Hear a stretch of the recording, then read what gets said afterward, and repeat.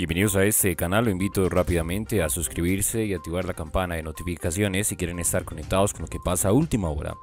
Alerta aérea en todo el territorio de Ucrania, según medios locales. La alerta estaría relacionada con el lanzamiento de drones y proyectiles Kamisake desde Rusia. Las autoridades solicitaron a los ucranianos que no ignoren la alarma en ninguna circunstancia. No olvide dejar un comentario en este video y un me gusta también para apoyarnos. Muchísimas gracias. Ucrania activó una alerta aérea a la madrugada de este jueves en todo su territorio que puede estar relacionada con el lanzamiento de proyectiles rusos o el ataque de drones, según han informado medios locales.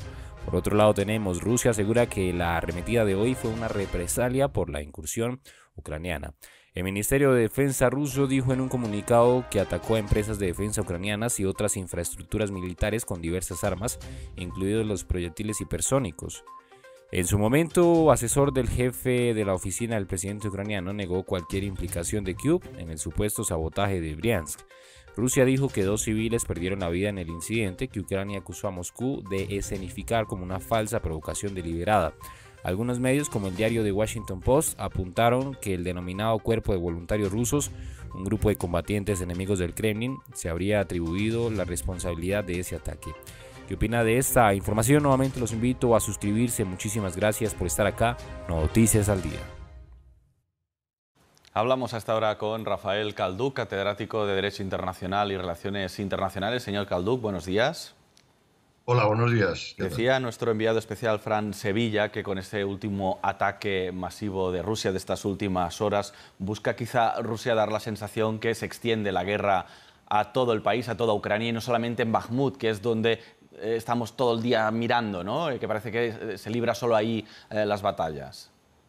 Sí, sí. Eh, Rusia quiere enviar, quiere dar la impresión y enviar el mensaje propagandístico de que tiene capacidad de acceder con sus misiles y sus drones eh, a cualquier parte de Ucrania y que por tanto no hay ninguna zona de Ucrania, digamos, que se pueda considerar a salvo de la guerra. Pero lo cierto es que, como usted ha señalado, eh, la atención mediática está en, el en, los frentes de batalla, porque aunque Bakhmut se toma como referente simbólico, porque lo es en este momento, de esos frentes de, eh, de batalla, pero la verdad es que los frentes se extienden desde eh, a lo largo de todo el Donbass, desde el norte hasta, hasta, hasta eh, el, Mar Negro. ¿no? Eh, ayer el secretario general de la OTAN dijo que Bakhmut podría caer en cuestión de, días. se da por hecho que Rusia va a tomar el control de Bakhmut. La clave es el cuándo, ¿no?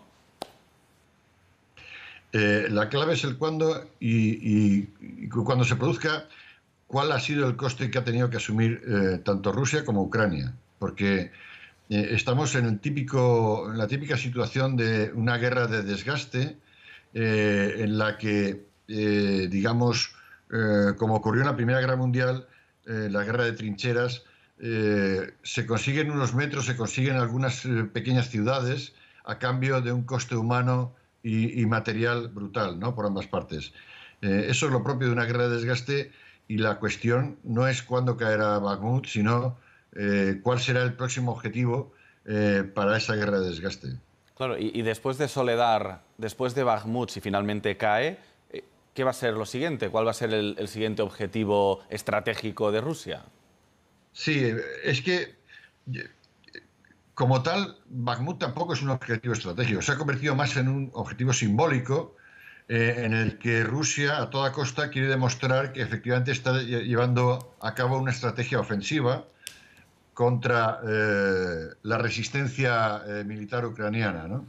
Y pretende, o por lo menos eso es lo que dicen los expertos, pretende mm, lograr la mayor sangría posible para evitar que eh, Ucrania en la primavera-verano lleve a cabo una contraofensiva como ocurrió el verano pasado, que pueda recuperar buena parte de los territorios que ahora tan costosamente está llevando a cabo Rusia. No sé cuál es el siguiente objetivo táctico de Rusia, pero desde luego lo que sí está claro es que la ofensiva que está llevando a cabo Rusia eh, está logrando muy pocos resultados desde el punto de vista territorial eh, con un alto coste.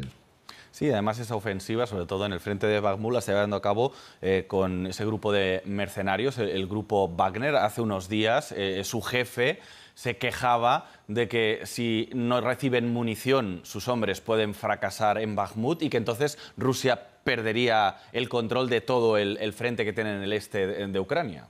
Eh, eh, ¿Son ciertas eh, estas amenazas o, realmente es simplemente una manera de, exigir al Kremlin que reaccione y mande esa munición que tanto dicen que necesitan? yo creo que hay una parte de reclamaciones cierta, porque hay, algo que resulta evidente, es decir, y que, y que nos lo dice la lógica.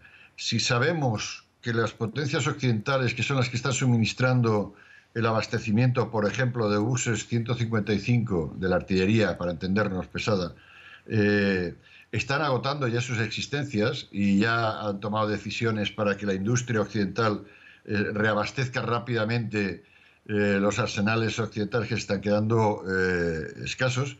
Eso tiene que pasar también en Rusia. No es, no es posible creer que la capacidad de defensa, de la industria de defensa rusa tenga más capacidad de abastecimiento que la que tienen conjuntamente Estados Unidos, eh, eh, Reino Unido, Francia y Alemania, por poner un ejemplo. ¿no? Por tanto, hay una parte de reivindicación de Wagner y otra que seguramente tendrá que ver con lo que quiera a cambio de haber sido la punta de lanza en la ofensiva en Bakhmut. A cambio de esa, de esa ofensiva y el coste humano que le ha supuesto para Wagner, ¿Qué es lo que pedirá de privilegios o de condiciones eh, de carácter económico, que es la parte que no sale obviamente en ese discurso. Bueno, el pasado 24 de febrero se cumplía un año del inicio de la invasión rusa de Ucrania. Esto está durando más tiempo de lo que esperaba el propio gobierno ruso. ¿Considera que esta guerra, imagino que es la pregunta del millón, podría alargarse muchísimo más en el tiempo? Bueno, como he dicho, eh, la guerra lleva ya meses eh, en una lógica de desgaste eh, muy importante. Antes señalaba que los ucranianos se están quedando sin munición de, obuses y tienen, se estima, una media de, de utilización de 7.000 obuses diarios, cuando Rusia se calcula que como mínimo está utilizando cuatro veces más. ¿Eso que me hace pensar? Me hace pensar que, primero, la estrategia de los occidentales, de las potencias occidentales, es desgastar militar y económicamente todo lo más posible a Rusia para que tarde mucho, mucho tiempo en poder recuperarse, eh, pero también me hace pensar, por lógica, que eh, este desgaste militar eh, que ya está obligando, por ejemplo, a que los ucranianos sean provistos de los Leopard, de, los tanques occidentales, y de que los, los rusos estén utilizando los T-62 de la Segunda Guerra Mundial, Mm, me hace pensar que no puede durar mucho. Yo, yo sinceramente no creo que sea una guerra que dure otro año como ha durado hasta ahora.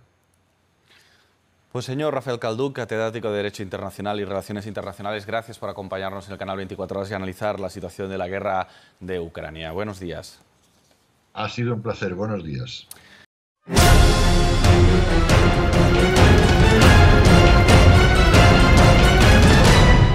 Si no te quieres perder de los últimos acontecimientos que pasan en el mundo, suscríbete y activa la campana.